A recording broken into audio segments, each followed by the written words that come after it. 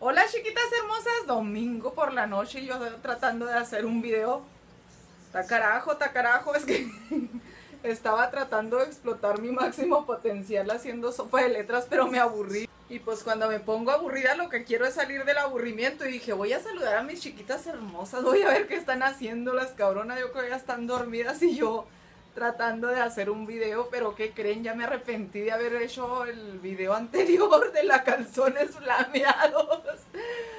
Porque imagínense, van al rato, en vez de decir ahí viene la chiquita hermosa, van a decir ahí viene la calzones flameados. Pues qué chingados estaba pensando cuando hice ese video. Bueno, no estaba pensando, no conecté mi mente con el hocico y ni modo, eso salió. No hagas eso. Pues eso pasa cuando no, no, ah, cuando actúas con las tripas también, porque no, bueno, a mí se me ocurrió hacer un video y prendo el iPad y, lo, y sale lo que saco, o sea, lo que en ese momento se me viene a, a la mente, así se me salen las palabras y digo yo, porque no aguantes un una un ensayo de lo que voy a decir, nomás hablo a lo puro pendejo. Ya, Vicky. Y estaba pensando, dije, bueno, cuando me encuentre una chiquita hermosa y que me diga, hey, los calzones flameados. dije yo, ching, ya, ya la hice, voy a ir a borrar el video. Pero como ya sé que son bien morbosotas y les encanta el morbo, y los títulos morbosos, por eso ahí lo dejo. Dije, se van a dejar venir como ovejas al pasto. Aunque esté una lluvia de dislikes. Sino que ayer andaba bien encabronada con mi hija y pues con mi hijo y nos dimos un round, no de, de veras, pero de palabras, ya saben cómo se ponen los adolescentes. Todos ah, que sienten que su vida es mierda y que todo el mundo está contra ellos pues claro que mi hijo me, gritó y, se me vino a la mente, conecta tu pinche cerebro con, la, con el hocico y ya cállate. Entonces dije, ay, pues si yo tampoco lo conecto a veces. Una vez andaba ahí en el centro, en la macroplaza, y luego de, eso, de esos días que te, pintan para que todo sea genial. Y dije, este día es para divertirme y, a consentirme entonces que me meto ahí al tianguis que se pone en la macroplaza a veces. Y iba muy mona yo con mis hermanas y todo iba, caminando por ahí. Dije, este día es genial, mío. Y voy caminando muy salerosa y eh, a la entrada del tianguis están unos señores dando masajes y, y, como siempre ando con el contracturas musculares, dije, es hora de que me den una masajeadita y pues de a 50 bolas dije, no, pues de aquí soy. y, me, y que voy pasando y me siento y luego le digo al señor, ándele, deme un masaje, pero no se duerma. Chinga. Era un señor invidente y yo no sabía. Oh. Hombre, pues me, empezó un pinche calor que me recorrió todo el cuerpo y dije, trágame tierra. Le dije, no, así me quedo toda contracturada. Quiero el masaje. Y salí a madre. No, no me acuerdo, creo que sí le pagué al señor, pero me fui de ahí porque tenía muchísima vergüenza. O sea, no hallaba ni dónde meterme porque, pues no tuve el valor de pedirle disculpas al Señor. No, sí, creo que sí, creo que sí le he pedido disculpas. Y, pero, pero fue lo más vergonzoso para mí porque, ay, no, no conecté el pinche cerebro con mi hocico. Bueno, es que no me había fijado, pero pues primero de perdida, como yo no soy de las que, de las que observo, o sea, soy de esas aventadas que se, que se dejan ir y pues ni me fijé que todos eran invidentes y oh. luego en otra ocasión andaba cachando moscas ahí en la parada del metro y íbamos al centro mi hermana y yo estaba toda la fila de, personas pero como siempre yo como los caballos así con el freno nomás volteando para un lado.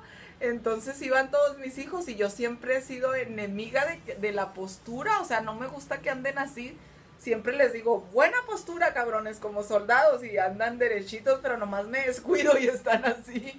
No sé, mi mamá decía que cuando estabas jorobado era porque tenías muchos fracasos en tu vida.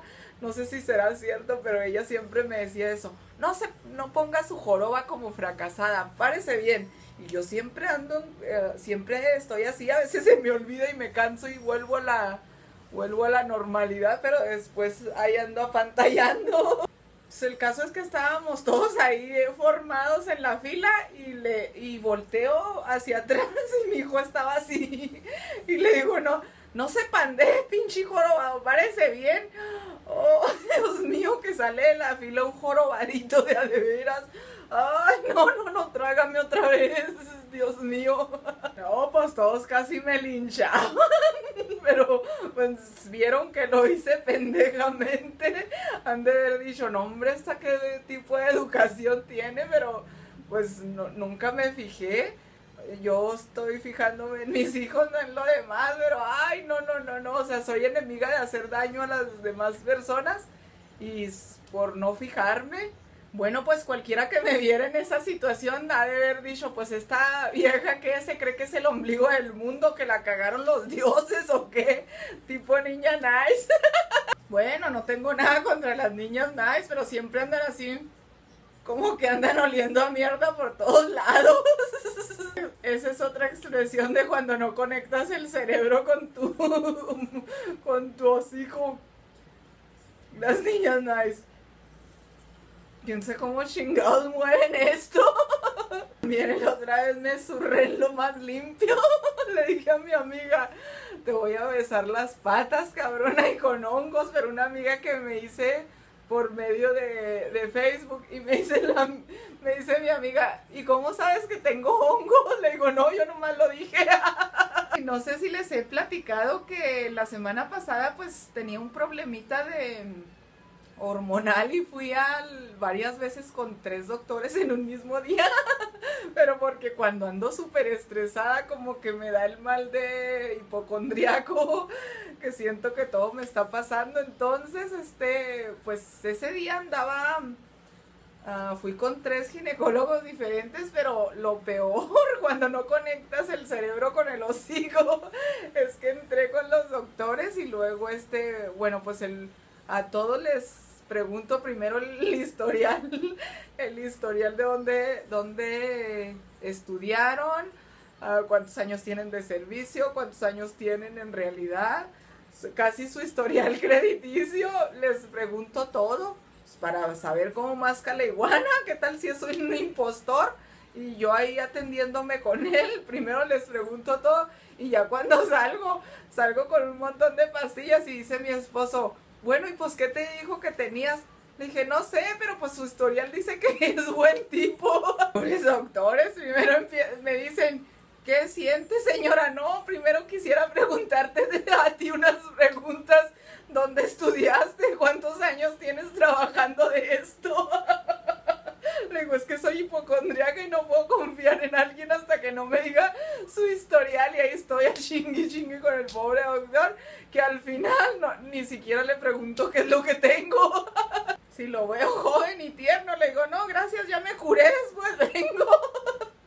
Pero que si lo veo madurito y ya pasadito, como me gustan betabeles, le digo, no, pues sí, chécale a ver qué, a ver qué aceite se anda cayendo. Ay, no, que me ayer a mi marido me lincha, cabronas. Bueno, chiquitas, es todo por el video de hoy. Ay, creo que va a salir bien tarde, pero las amo, las amo, cabronas. No quería pasar un día más sin hacer un video y pues andaba inspirada. Espero que les haya gustado y se hayan divertido así como me divierto yo haciendo videos para ustedes. Manita arriba, manita abajo, compartan, comenten y nos vemos mañana. Bye bye.